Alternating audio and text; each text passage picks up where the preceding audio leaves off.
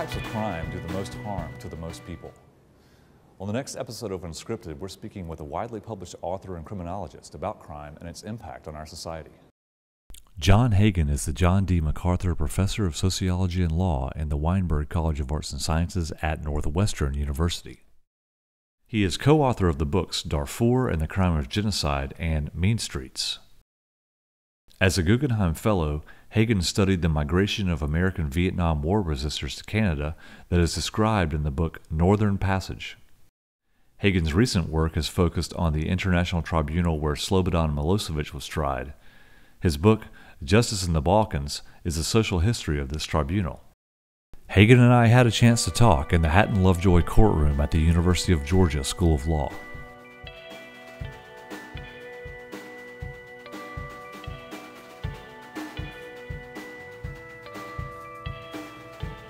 So maybe we can start out with you telling me a little bit, explaining a little bit to me what criminology actually is.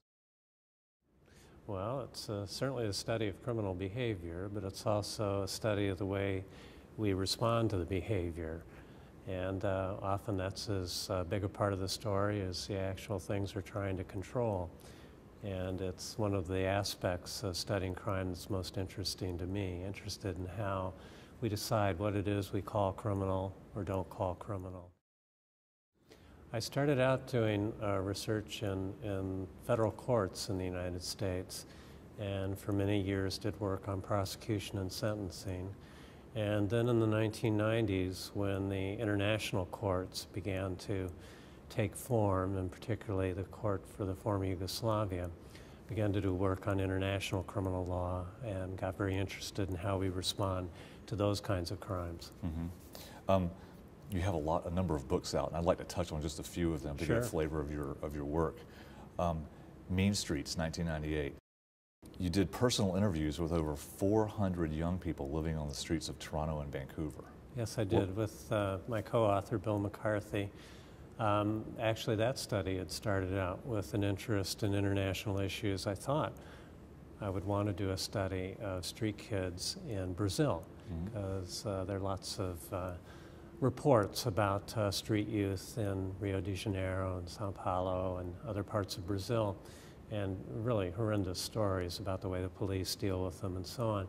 Then I realized I was teaching at the University of Toronto, and I realized there are lots of kids on the street in Toronto. Mm. And then my colleague, Bill McCarthy, was teaching in uh, British Columbia, and so we saw a whole street youth scene there in Vancouver, and we thought it'd be very interesting within a developed country and one that we think of as not having the sort of degree of problems as somewhere like Brazil to actually study street kids uh, in, in that kind of setting. And uh, it turned out to be very interesting, very different sorts of settings. Toronto being more supportive of street kids in Vancouver, much more a kind of crime control hmm. orientation. Right. And you said that you, you, it was in a place where you wouldn't think there would be such a connection but that touches on some something I think you bring up in that book is testing some theories about yes. why we think such things, right? Yes, uh, I wanted to try and understand how it is that different locations, locales, jurisdictions can respond to a problem like street youth and street crime in such different ways. And uh, it was very interesting to sort of discover that uh, actually Vancouver may be much more like San Francisco, a place that was very concerned about the number of people on the street, that maybe it was the climate of the area that was drawing mm-hmm. youth to these settings, and not really wanting to be too supportive for fear that there would be too many youth on the street, but actually then using this kind of crime control approach that actually intensified the problem, sort of drove, would drive these young uh, youth who are homeless uh, into street crime kinds of things like prostitution and drugs and, um, and being on the street more exposed to all the vulnerabilities. Whereas in a place like Toronto, uh, much more benign. There were, uh, there were, were places, uh, hostels, where these youth could uh, get housing, stay for a period of time. There's actually even support in terms of having access to welfare services, and a lot of efforts to bring these kids back into school and to try and sort of reintegrate them. And it seemed to make a difference. Uh, um, street kids have a difficult time in both kinds of settings and everywhere. Mm-hmm. But uh, the problems seem less deeply entrenched in a place like Toronto at, at that time, which was more supportive. So our approach sometimes can exacerbate the problem. Exactly, and that's uh, always been a key sort of interest for me. How do we understand uh, where our responses to crime uh, make things better, or Mm-hmm. alternatively, when they make things worse? Right. Is that related to the, um, the broken windows idea of, of, of, uh, of, I don't know if crime Yes. fighting is the right word, but Yeah, the broken windows approach has been sort of a feeling that, you know, if, uh, if, if you sort of are more structured and more actually punitive in dealing with these problems and trying to sort of deal with all the minor problems as well as the more serious ones, that you'll get control over the situation and so on. So, one of the things that's most associated with the broken windows approach is uh, stop and frisk. And so, uh, stopping lots of kids on the street and trying to get more control over the street scene and so on. Um, but as that kind of enforcement strategy works out, we find that actually very few of the people uh, stopped uh, are actually engaged in anything that warrants police intervention. Uh, so you get a very small proportion who are actually ever arrested or charged. And uh, for the rest, um, many of whom, probably the majority, probably the overwhelming majority, who have not done anything but somehow attracted uh, inadvertently police attention, it becomes a kind of coercive, negative kind of experience, and uh, Mm-hmm. that's uh, can be the beginning of you know a path that's not not going to be helpful. right, it creates their perception. That's right. It, pr- it creates a sense of injustice Right. and a sense of hostility and a sense of not being dealt with fairly. And A lot of questions come up, um, especially uh, I wondered when being, uh, I wondered when being tough on crime became a, a, a national political issue because it doesn't really seem well. You can't really fight crime on that level, can you? I don't think so, and I think a lot of it is a response to what was taken as being sort of the breakdown in social control in the 1960s uh, and uh, the sort of rebellion of youth in that period, uh, taking being taken as something that had to be responded to in a in a stronger way. And uh, over time, that evolved, I think, into a variety of different kinds of punitive policies, and most consequentially in our country, I think, for a real kind of emphasis on mass incarceration, so a tremendous increase in the level of imprisonment. And uh, there was a period in the beginning in the 70s and 80s when crime was uh, going up and incarceration was going up. And uh, then in the early 1990s, looking very broadly in the United States, crime started a downward turn. And uh, I think there was uh, an over uh, investment in the idea that imprisonment was what was causing the, the downturn. Uh, it may have been a small part of that, but uh, I think it was not a large part. And in any event, we've entered an era where we continue to incarcerate an extraordinarily large number of Americans.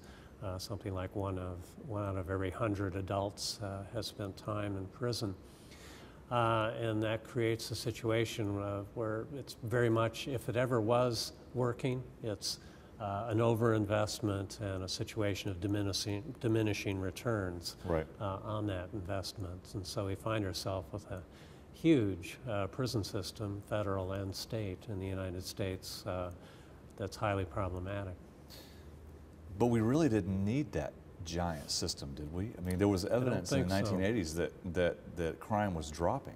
That's right. Uh, beginning in the late 1980s, early 1990s, crime really began trending downwards. So now we've got more than a 20 year period of uh, declining uh, crime rates with continued very high levels of incarceration that only in the last year or two have started to, uh, to, to stabilize at a very extremely high level.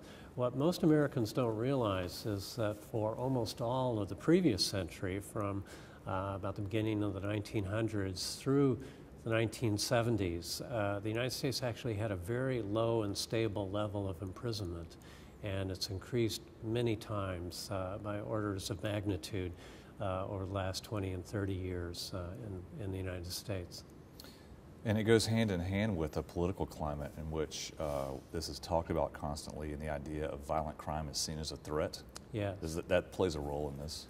Uh, I think the sense of fear of Yes. crime is a driving force, of course, and, and it manifests itself in different ways. We can have a general public fear of crime. We also have a very specific political fear of crime that relates to politicians in particular, not being, say, Governor Dukakis in Massachusetts, who becomes taken as being responsible for releasing a, a parolee who goes out and commits a heinous crime. And so uh, a very sort of unique and singular incident uh, can be a really dominant preoccupation of politicians and creating a real fearfulness among politicians about uh, reversing this trend uh, in terms of very high levels of incarceration. So, crime rate goes down, incarceration goes up. What are people being put in prison for? Yeah. Um, well, we had a tremendous reliance on the use of imprisonment to deal with the drug epidemic, basically, uh, um, in the 1980s, uh, which was really the beginning of this dramatic upturn in imprisonment, uh, a reliance on imprisonment as a way of dealing with drugs. Should we question the language that we even use, like what you just said, the drug epidemic? Is that part of our thinking in this? Uh, yeah, that's a good point. You know, it can be a way of exaggerating the threat that's involved. Uh, There was a substantial increase in, in the use of drugs and the use of uh, cocaine, uh, particularly in the 1980s, that was real. Uh, but uh, all epidemics have their rise and decline phases. Right. And uh, to only think of it as a kind of rising or continuing uh, intense problem, uh, if, if you don't really understand that aspect of epidemics, can be very misleading and problematic. And incarcerating people is very expensive, right? I remember when I was a political science major as an undergraduate hearing that corrections were perhaps the first or second highest item on, on the state budget. And it's particularly problematic because it winds up costing more uh, taxpayer money to put people in prison than to send them, for example, to college. And uh, we now get the situation where we have so many more minority uh, males in particular in prison than going to college and in making our investments in punishment rather than in education. It's, uh, it's a real problem.